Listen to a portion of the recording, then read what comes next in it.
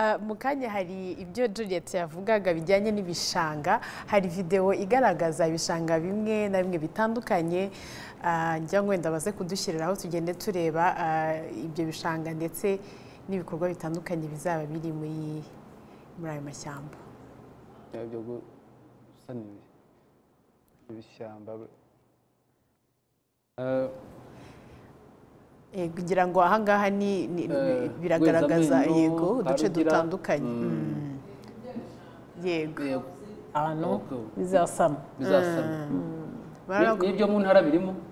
Oya. Ibi ngibi ni biriya bitanu byo mu mujyi wa kigali. Yego. Eh, ubwo ubwo akavidewo k'ibyo mu ntara nako kari mu nzira kaza. Kari mu nzira, karimo Eh, karategurwa. eh, kugira ngo babereke uko bizaba bimeze. Inyigo nirangira ubwo n'ako kavidewo kaza- kazaboneka. Ariko urabona ko bisa neza. Ah, ni ukuvuga ngo ubundi ah, ibintu nk'ibi ngibi ni ugushoramo amafaranga mu by'ukuri bibona ko bigaragara ko azaba ari menshi. Aya mafaranga azavahe ni menshi ni menshi eh, na nyandungu yonyine yagiyeho yagiyeho hafi miliyari enye n'igice z'amafaranga y'u rwanda. Ntabwo ari ukuvuga ngo twari twabuze aho dushyira amafaranga. Twayashyize ahagenewe. Nta bafatanyabikorwa mwagize. Twagize abafatanyabikorwa. Ntabwo kubungabunga ibidukikije ntabwo byaba igikorwa cy'igihugu kimwe. Twagize abafatanyabikorwa harimo na fonerwa. Yego. Eh, dushimira cyane. Eh, ikindi kandi uretse kuba nyandungu yarongeye ubwiza Mm, nk'uko juliet yabivuze yagabanyije n'imyuzure. Yego. Uretse na nyandungu. Iyo murebye eh, hano nyabugogo biriya biraro byubatswe eh, byubatswe ku nkunga twatewe na na na fonerwa fonerwa cyangwa se iki- ikigega cy'igihugu cyo kubungabunga ibidukikije.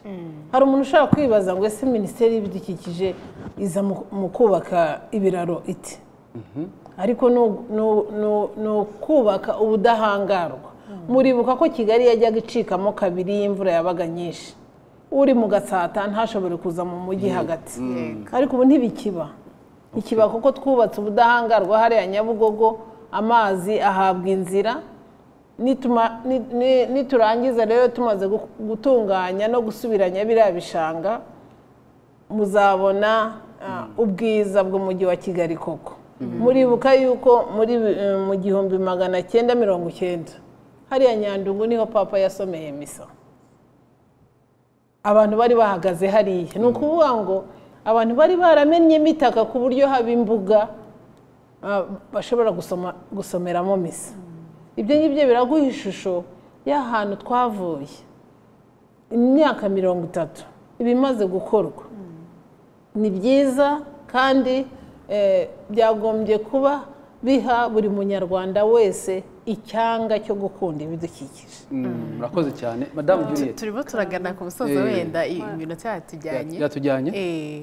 mubajije nagira ngo nsubize ku bafatanyabikorwa. Ah, nirinze kugira uwo mvuga kuko ni benshi. Tutagira oya tutagira uwo twibagirwa. Kandi bose tu- nagira ngo tuba nukubatera ishyari byibura bakaza nabo baka- mugafata- oya Twagira Ah, umufatanyabikorwa wa mbere reka mubabwire ni imiyoborere myiza y'iki gihugu. Ni, ni leadership idufasha kuba dutera iyi ntambwe ibi bishanga ah, tujya gutegura uwo mushinga muri ibi bishanga bitanu ni uko ubuyobozi bukuru bwari bwa bwadufashije gukuramo ibikorwa bitari byemewe kuba birimo. Tumaze kubona ibishanga noneho za nganda zavuyemo ya mazu yavuyemo ubwo noneho twari dufite icyo tugaragariza n'abafatanyabikorwa.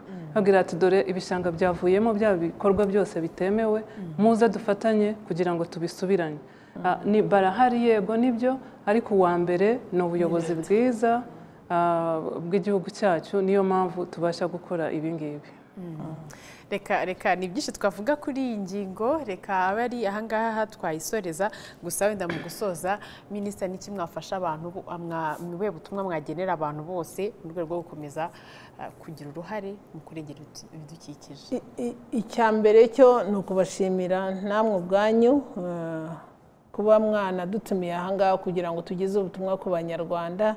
Ikindi ni uko muri iki gisekuru cyacu ntabwo dushobora gusubiza amasaha inyuma ntabwo dushobora gusubiza inshinge z'isaha inyuma ntabwo dushobora gusubiza igihe inyuma ngo twongere ubuso bw'u rwanda bwa butaka bwagiye bugaruke. Ariko dushobora gufata neza amashyamba gusana ubutaka bwangiritse tukabubyaza umusaruro w'ibidutunga ku buryo bukwiye tukazaraga abana bacu abuzukuru n'abuzukuruza isi nziza abazadukomokaho bakajya batwirahira bavuga bati twagize ba nyogokuru na ba sogokuru beza.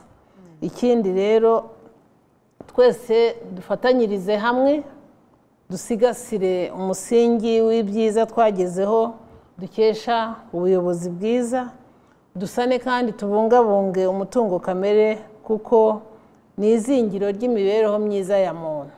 Bityo ubuyobozi bwacu bwiza tubushyigikire.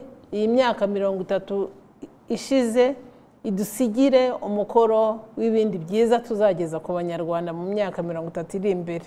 Bityo tugire u rwanda rutoshye n'abanyarwanda batoshye.